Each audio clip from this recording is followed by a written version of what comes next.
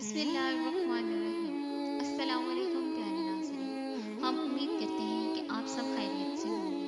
हमारी है कि आप हमेशा खुश रहें। प्यारे एक सवाल पूछा गया है कि जिस औरत को लकोरिया हो तो इस औरत के साथ सोबत करना जायज़ है या नहीं? इसके बारे में शरीयत क्या कहती है? इसके सवाल के जवाब में कराम फरमाती हैं कि लकोरिया एक औरत को मर्ज होता है। इसको सफ़ेद पानी कहते हैं, जो औरत के अंदर से निकलना शुरू हो जाता है। इस सूरत के अंदर लकोरिया वाली औरत को नमाज़ माफ़ नहीं, बहरहाल इसका इलाज करवाना ज़रूरी है।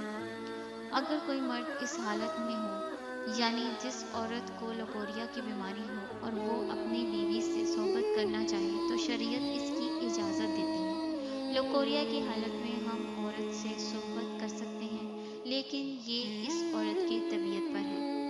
आपकी तबीयत को कुछ फ़र्क नहीं महसूस होगा। लेकिन अगर औरत की सोहबत करने में कोई तकलीफ़ महसूस हो तो सोहबत ना करना ज़्यादा बेहतर है। नाजरीन, ये थी आज की वीडियो। हम उम्मीद करते हैं तमाम देखने और सुनने वालों को पसंद आई होगी।